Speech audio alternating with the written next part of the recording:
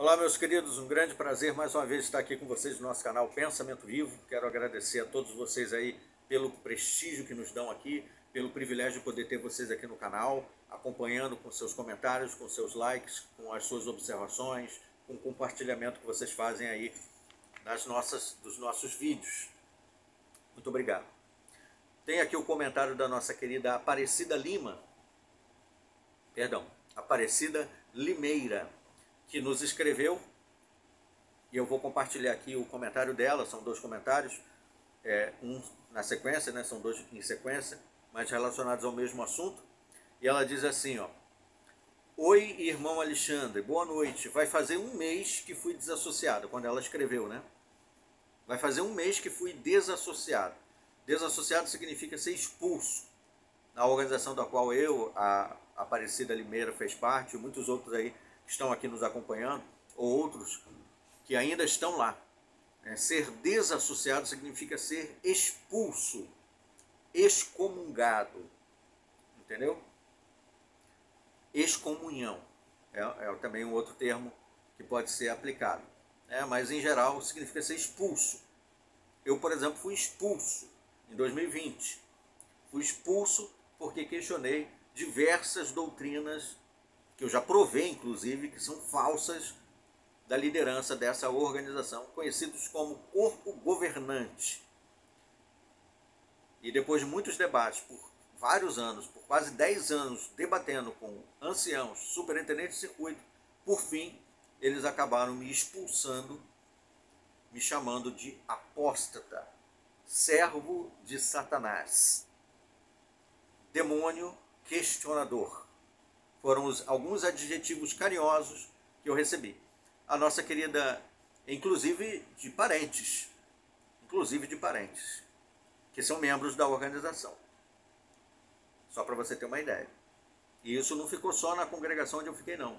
Também congregação vizinha foi colocado nas redes sociais, no grupo da congregação, que era para os irmãos me evitarem, porque a partir de agora eu me tornei um apóstata, servo de Satanás.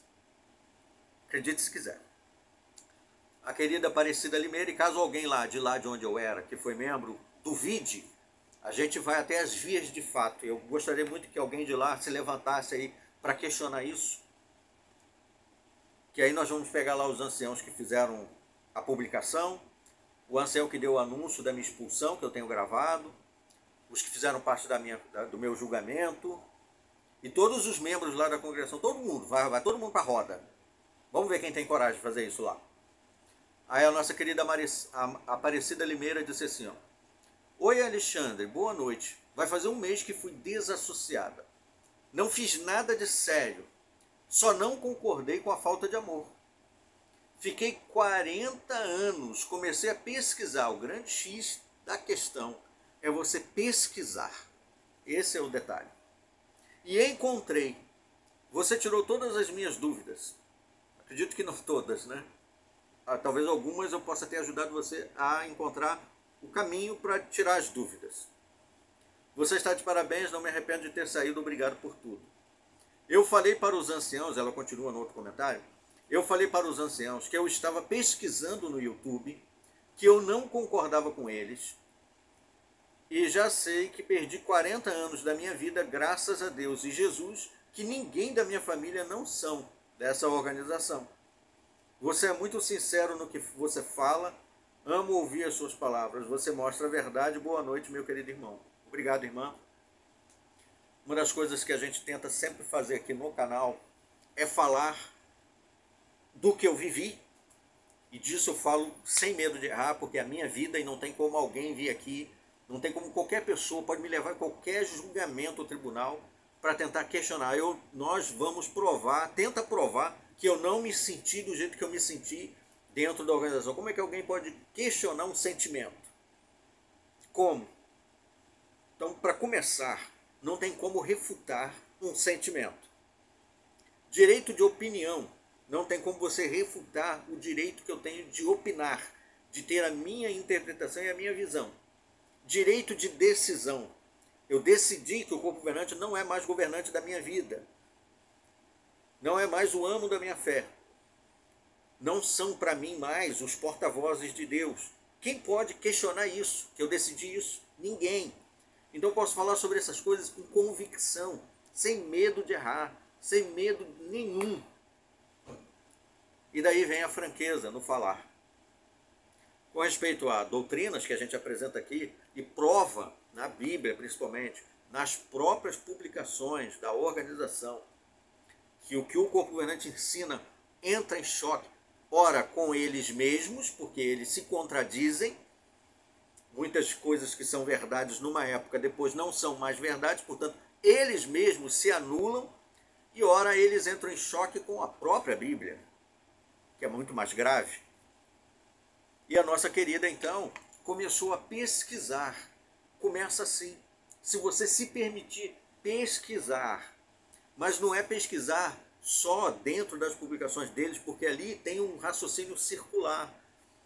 Existe uma neurolinguista te programando para você sempre, né, igual cachorro correndo atrás do rabo, nunca alcança, você fica ali ó, e não sai das amarras. Você precisa arrancar as cordas do controle deles e começar a pesquisar a Bíblia apenas com auxílio do Espírito Santo sem ajuda das publicações que eles mesmos publicam para poder justificar suas próprias interpretações. E aí você começa a se desvencilhar, você começa a se desligar do controle mental deles. E aí vem a libertação. Você começa a enxergar a, as escrituras sagradas com outro prisma. Você começa a ver o verdadeiro cristianismo de uma outra forma. E aí você começa a ver que tudo que você vivia, não refletia de fato o verdadeiro cristianismo. Você, na verdade, não estava servindo a Cristo, estava servindo a homens. E aí você se sente indignado, você se sente envergonhado, você se sente devedor, você quer fazer alguma coisa para justificar, para compensar o tempo perdido. E aí você se sente desesperado para avisar outras pessoas. E aí outros que não vão compreender talvez te denunciam e aí você é levado a tribunais de julgamento, como aconteceu com a nossa querida, acabou sendo expulso, como aconteceu comigo também, e com muitos outros. E é mais ou menos esse processo aí. Quando você está numa seita de controle mental, o processo geralmente é esse.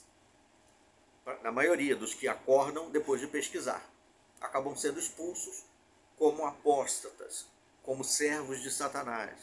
São silenciados, os outros não podem ouvir aquela pessoa porque aquela pessoa já está enxergando e aí ela vai se tornar um perigo para os outros. Ela é encarada como uma, um bruxo. Tem uma série chamada Si, com aquele ator Jason Momoa, né? acho que é aquele que fez o Aquaman, onde depois de uns 500 anos a humanidade ficou cega e uma, uma pessoa que é encontrada que enxerga é considerada um bruxo. Enxergar naquele mundo, né, pós-apocalíptico, mais ou menos isso, é considerado bruxaria, aquela pessoa ali é anormal, porque o normal é todo mundo ser cego, viver na escuridão. Numa seita de controle mental é mais ou menos isso. Quando você começa a enxergar, você se torna um bruxo, uma pessoa demoníaca, para eles, né? uma pessoa satânica, perigosa, tem uma doença contagiosa, tem que ser colocada em quarentena, isolada, né? tirada do meio. Leproso, leproso, não chega perto dele. É por aí funciona assim. Infelizmente, né, a gente tem que fazer esse tipo de comparação, porque é exatamente isso. Foi assim que eu me senti. Na verdade, é assim que eu ainda me sinto em relação aos meus ex-companheiros na seita de controle mental, onde eu fiz parte. Querida Aparecida Limeira, quero muito agradecer aqui o seu comentário, tá? É, sou solidário aí com a, sua, com a sua dor. Fico feliz pelo fato de você se sentir liberta em Cristo. Isso dá grande satisfação. Muito obrigado pela sua participação e obrigado a vocês aí que estão acompanhando a mais esse vídeo. Até os nossos próximos vídeos. Até lá.